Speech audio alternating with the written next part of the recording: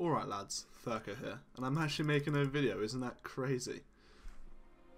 So, the Winter EHP Classic Week 5 starts very soon, and it's the second week that I'm competing in, and I wanted to make a video showing my point of view of what happens during the week.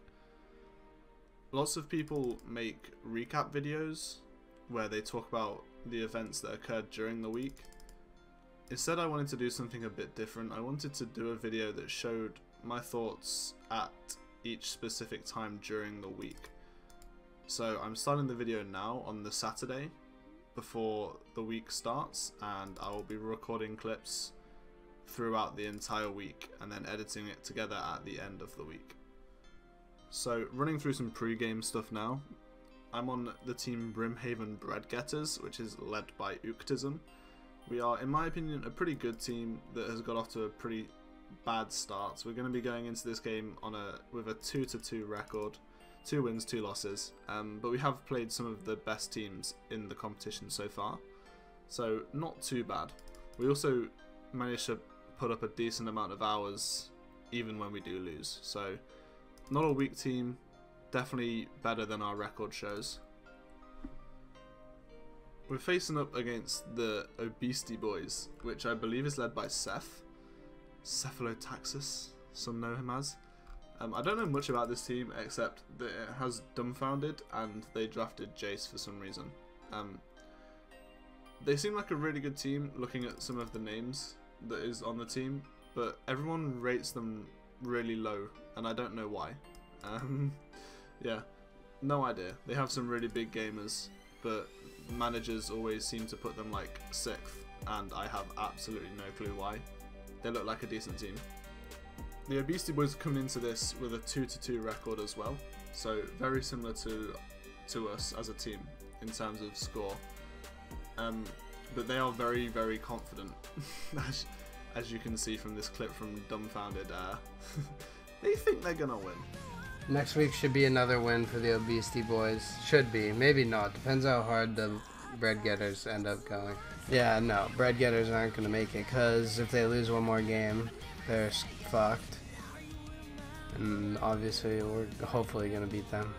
So it falls to us bread getters to uh, to upset the established order and take the W from the uh, the chubby monkeys over at Obesity Boys. And I think we can do it. I'm pretty confident. By the way, if you don't know who that was, that was Dumbfounded. Uh, if you don't follow him, I'll put his links in the description. Obviously, this video is going to come out after Week 5 finished, but I assume he'll probably be streaming Week 6 as well. He's a pretty talented gamer and a good streamer, so if he is streaming, definitely check him out a little bit and uh, yeah, drop him a follow and all that good stuff. So yeah, I think that's all I need to talk about pre-game. I don't think there's anything else I need to mention. Um, a lot of these clips will be taken during streams because I am going to be streaming a lot of the week.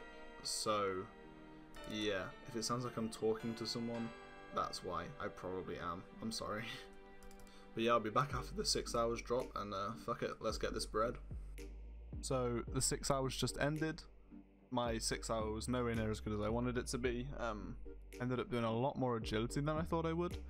I was meant to do a mining six hour for the whole thing, um, but basically, it turn, turns out I was really rusty and kept getting interrupted anyway. So I decided to just practice mining and um, do a six hour at some other point. But yeah, we're currently up by two EHP.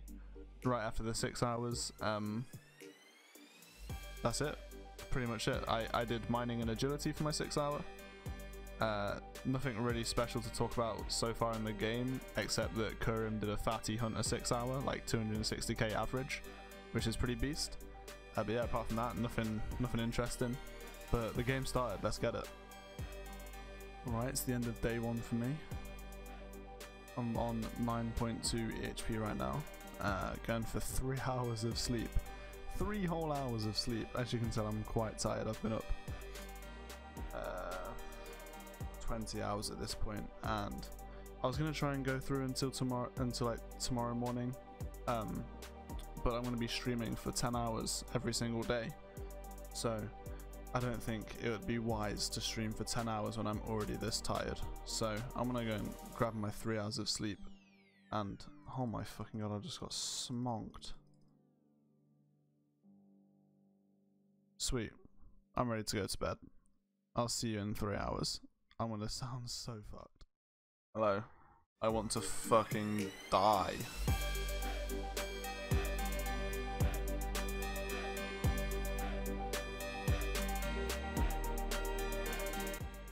Hey, so it is the end of day one. Coming in. I'm currently sitting on 23.23.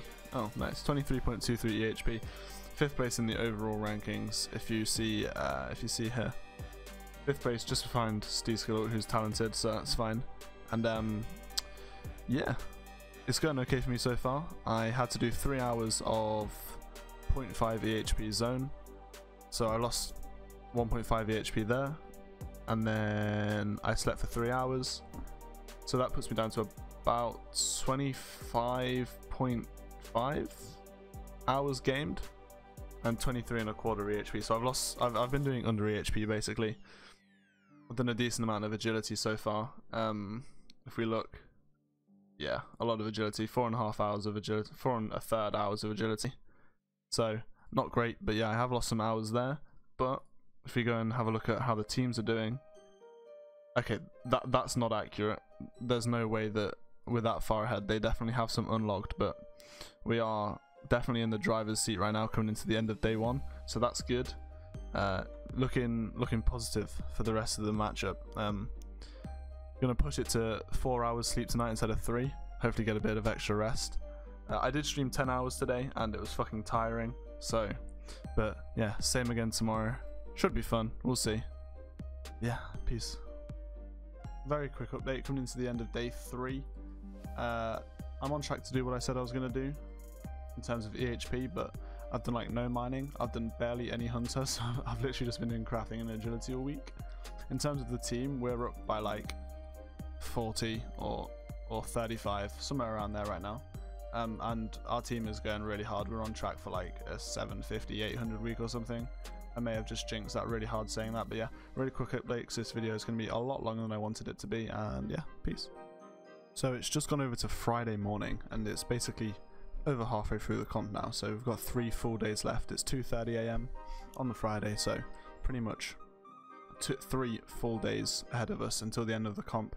So I thought now would be a pretty good time to look more in depth at how everyone's been doing, how I've been doing, you know, look at the statistics and all that good stuff. So starting off with my week so far, uh, straight away what I'm seeing is too much crafting.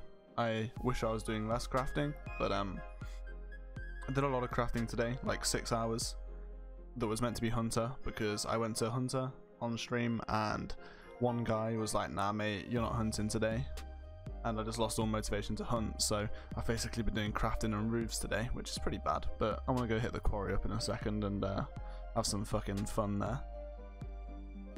But yeah, on pace. Um, my melees is is okay for now, I guess. Um, that's all like study slash study slash work slash going to the shops melees um i do work normally just friday and saturday but this week i've worked wednesday and thursday as well in the evenings but it's only like three and a half hours but it does add up and that's where my melees are and then also i study a few hours a day. So i probably will hit the melee cap um but that's going to start going up now because Friday and Saturday I'm going to be working and studying as well, so that's going to go up a bit. But whatever, yeah, I need to do more Hunter, but it can't be helped. If, well, I mean, it can be helped, I can just man the fuck up, but hey, whatever. So the standings for the game, we are currently, how many hours is that? 45 hours up. So yeah, pretty comfortable. Not comfortable enough that we can rest, but you know, it's a decent margin to have going into going into the Friday. You know, if we're still 45 hours up come fr Saturday night, like that's pretty much it. It's all over. There is another interesting game going on here: the the Prifddinas box traps versus the uh, uh, the Icens. What the fuck is that? Whatever. Um, this one's big for us because if the box traps lose, then they have to win against us week seven. But if the box traps win, then they don't have to beat us, and they will most likely rest in week seven. So if the Icings like, all right, the Icings winning and getting their first win against the box traps would be funny as fuck, but it would actually be really bad for us because then we would have to play three really hard weeks in a row as opposed to getting a rest on week seven, which would be fucking huge. Here's the standings for the bread getters. I'm riding in a very comfortable middle of the pack position. 66 hours so far, fourth on the team. That's pretty decent. Uh, yeah, you might notice this. Yeah, Vior is a fucking monster. Um, as of right now, he's on track for the mining week. And I've been told, I, I mean, I've not, I don't know if this is confirmed yet, but I'm also told that he's going to get the rank 1 uh, EHP month. So, yeah, Vior's a beast, man. I really hope he gets the mining week because he's been going super hard. Also to know, uh, Diglett is Diglett is evolving, doing uh, better than I think people expected. A lot of people were giving him shit before the week started, uh, and before. Wait, did he play last week? I can't remember. People were giving him shit before he played, and he's doing well. He's a beast. He needs to keep it up. But yeah, I like him. He's a gamer. So the Obesity Boys, uh, dumbfounded, leading by example. Yeah, doing a, a 68 with 60, 69.64 as Slayer, so that's pretty big. I don't know if this is true, but apparently like Slayer is slightly under 1 to 1 EHP. I'm not sure if that's true. I, I don't really know enough. Uh, L2, what's he up to? Crafting? Yeah, fair enough. Bit of crafting, bit of zone. But also going really hard, so I think like everyone on both teams is trying and it's a, a really decent game. Yeah, Boo what's going big with fire making and agility, pretty respectable. Kurim, I think crafting and yep, big chunk of Hunter, what a beast. Kurim's really good at Hunter, like he just is. He, he's got the boat clicks, you know, he can uh, he can get those big hours. Oh shit, Califan mine. I don't know who Califan is. Hmm. Like I know I know who like I see the name Califan around a lot, but I don't know if he has like another name he goes by or something. I don't know. And stuff we're doing. Riding out the bottom. 54 hours, like on track for a 100 plus, riding out the bottom of the team. That's like everyone on this on both teams are going so hard doing yeah, fire making agility. Pretty beast. Yo, it's Saturday night and my day has been complete shit. I was hoping to stay on track for like the 110, but today has fucked me over. Uh, something came up in real life that I just could not avoid. Um, and basically, I've been out all day, and as you can see from my my update table, all of this is yesterday, and today is basically like 12 hours worth of coming in and out of the house and trying to do 20 minute zone, but even like like here uh, that's like an hour and a half maybe of crafting. And then four and a half hours, I got 150k strength XP. Because I was too busy to even pod up in Nightmare Zone every 20 minutes. Because uh, I was just driving around a lot. like, that's how busy I've been today. And, like, completely unavoidable. So, there was nothing I could do about it. And it's basically made me go from pushing for a 110 to pushing to even get a 100, which is really annoying. But yeah, that's why I'm uh, that's why I'm crafting now. Whoa, you just saw my face, cringe. Um, but yeah, I'm crafting now because easy one to one, and I'm probably gonna go and do some hunter tomorrow. But yeah, really fucking annoying. Oh, and uh, Vior broke the mining week today. What a beast! So the week is over. We have won. The Breadgetters take the win against the Obesity Boys, 618 to 543. A really good performance from everyone involved. Uh, I'll put everyone's everyone's uh, personal hours on the screen now. For our team, uh, Harmony, Vior with the 130, Steve with a 111, Diglett 105, myself just barely scraping 100, Ook 94, and Socha at the bottom with 77. Really good from everyone involved. I think Socha was busy for a few days, so that's why he's a, a bit below everyone else. But aside from that, you know, most of us, you, know, those four in the middle are, are really close, and then obviously Vior's just shooting to the fucking moon. Uh, yeah, really good performance. Over on the obesity Boys, they're all really close as well. Dumbfounded with the 104, and then Boo what 97.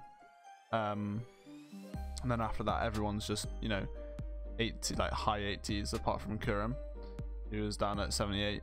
But I think you can definitely tell that the Obesity Boys quit. They quit around the Friday morning GMT times, I reckon.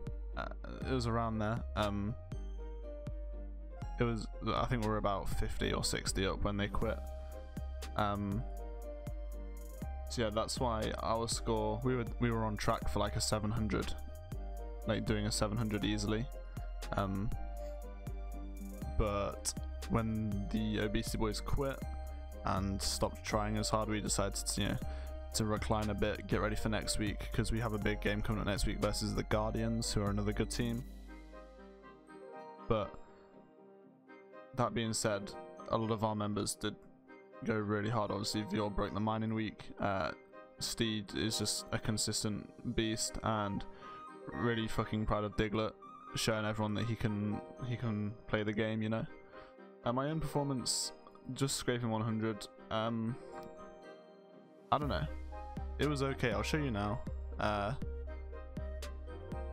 there's as much, pretty much bang on how much melee I expected to do, like 20 hours. Um, most of that was during studying or whilst at work. And then on the Saturday, I did quite a lot of 0.5 zone because of in real life stuff. But either way, that's pretty much how much I expected to do. Uh, and then almost exactly the same amount of hunter and agility, and then just loads of crafting. I wanted to do more, like, I would have loved for the crafting and hunter numbers to be switched, but there were days where I just didn't feel like hunting, to be honest, so just crafting's way too easy, man. It, it's so easy to just get stuck in the, the crafting coma, it's like the easiest fucking one-to-one -one in the game, honestly. But apart from that, I don't really have much else to say for this week. Uh, see, was there anything else interesting this week? The box traps did win. All the other games weren't really close. Uh, no, there's nothing else really that interesting there. Uh, yeah, the um, we are playing the Guardians next, as you can see. I'm not going to be playing in this week. I am going to ESL for the Deadman Mode event on Saturday, so I'm not going to be playing. But if you did enjoy this video, I well, I hope you enjoyed this video, and uh, yeah, that's me done. Thanks for watching. Peace.